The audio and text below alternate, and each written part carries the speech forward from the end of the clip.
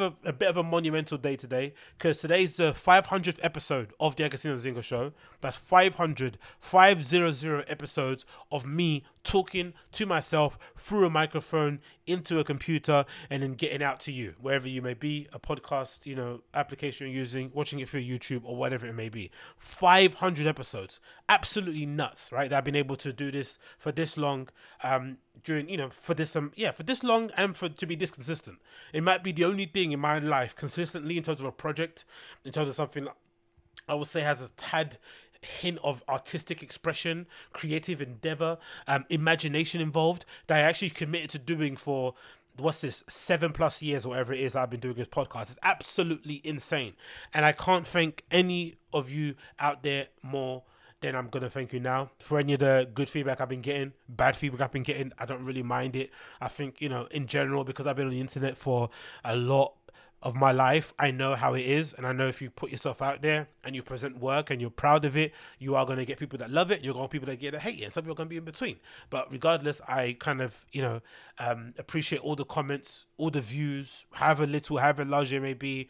I think the fact that you're giving someone like myself a chance and listen to what I have to say is absolutely insane, considering the plethora of flipping uh, people out there spouting their nonsense. I know how I how I know how picky I am with the time that I spend online and who I spend it with.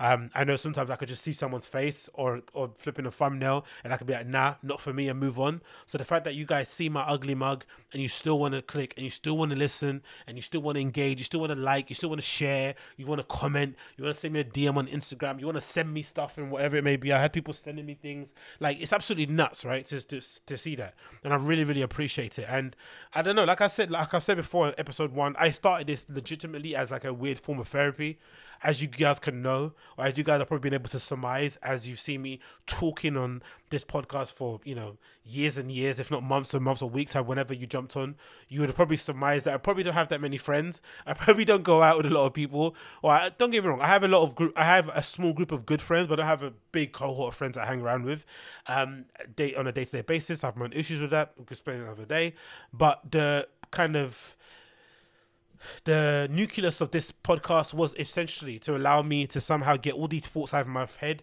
and just be able to flush them out stuff that I've been thinking about, you know, topics that I've been ruminating over, stuff I've seen in the news, things I've been thinking about in my own life, um, how I would approach certain situations, all these sort of things I kind of wanted to be able to kind of speak about on my podcast, have a neutral platform, and just be able to get it out to you openly. And if anything, my main inspirations behind this have always been people like Bill Burr, obviously, he does his own solo podcast he's absolutely fantastic at, um, Joe Rogan, and of course, in recent years, Tim Dillon, who's also really good at doing a sort of solo podcast with a couple of guests maybe bouncing off here and there. I had there's been I think on one hand I can count on one hand the times I've asked people to appear on my podcast. I think only in the last couple of years I've done so. They've mostly been DJs. It's all kind of fallen through. And I've kind of been happy it has fallen through because I still think at the end of the day, this platform or this channel that I have is mostly so you can come and hear what I had to say about certain things so I can kind of relay that back to you people. And in general, I don't really care or enjoy interviewing people um, for the most part.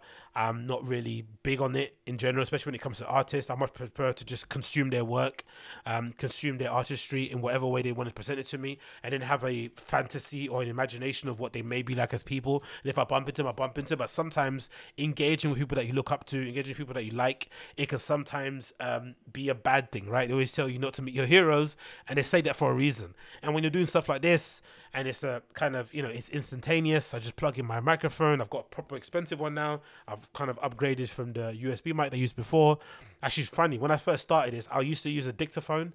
I bought like a Sony dictaphone. The whole idea behind it was like I tried to prove to myself that I could get stuff out and ship. I think that was when I was reading um, Seth Godin books and stuff, and he always prioritizes shipping, shipping, shipping, like getting your work out there. Um, and the other guy too, I forgot what his name is. Oh, I forgot the other book where he talks about it too. But essentially, creative people spend way too much time, you know, dilly dallying pontificating, procrastinating on an idea instead of just getting out, getting it out in this possible, in this kind of minimalist, viable form as possible, but just getting it out and ready to ship, like similar to what you know Elon does with Tesla and all that kind of stuff, right?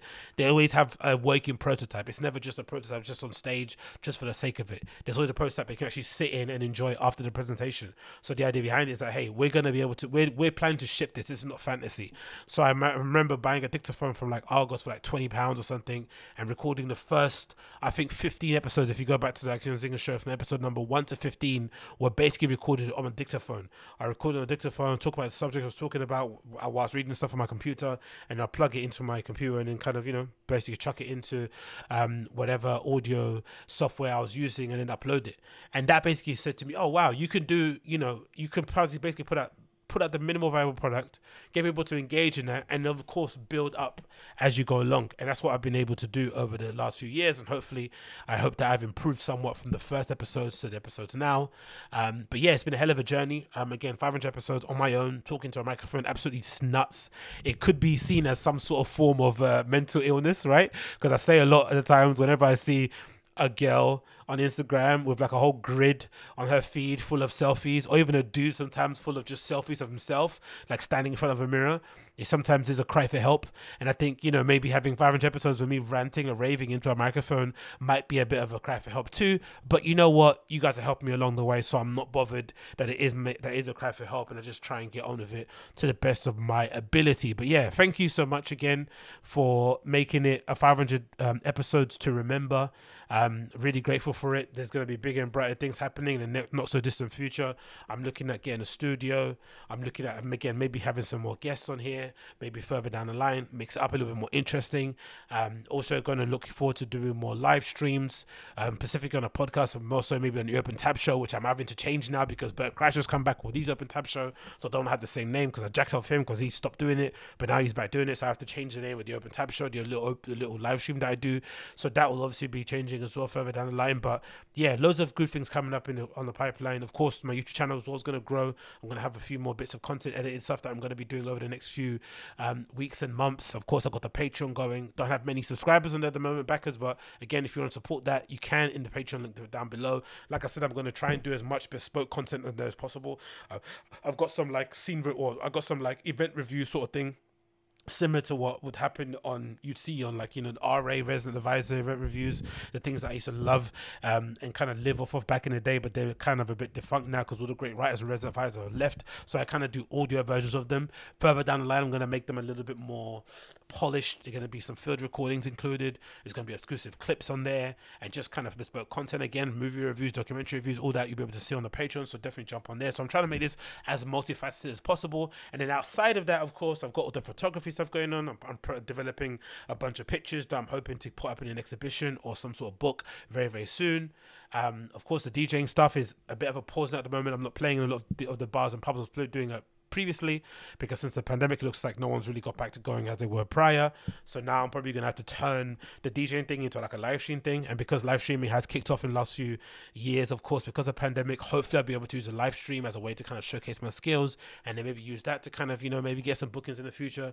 So loads of things I'm doing, loads of things I'm kind of um, dipping my toes into and fingers and all that malarkey. And hopefully down the line things should get to where they need to get to. But again, it's all come off the back of this because I've been able to see myself do this consistently um, and do it to a certain standard um, and obviously have some sort of viewership behind it, even if it's 100 people or 1,000. I don't mind. The fact that people are still watching it shows people like it. And if I build and continue doing so little by little over the years, the numbers will increase. So because I'm seeing that, I'm seeing evidence that, you know, my voice is valid, my voice is necessary. People like to hear what I have to say. They don't like what I have to hear, to, what I like, what I have to say. Regardless, it's still kind of a good reaction.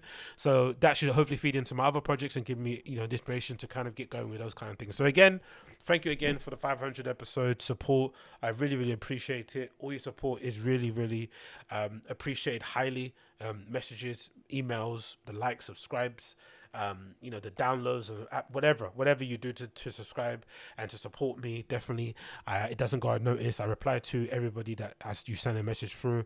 If you ever send a message on DMs on Instagram, you know, I reply back and I'm always kind of on, on deck to kind of offer any kind of advice, whatever you need. So again, thank you for the 500 episode support and I'm just going to keep on, keep it on. Okay, so now we got all that kind of softy wafty thing out of the way. I should need to blow my nose as well because you know what can you do. Let's jump on in to some other episodes, some topics actually we need to speak about regarding the show. Um, okay, so first things first, I want to talk about.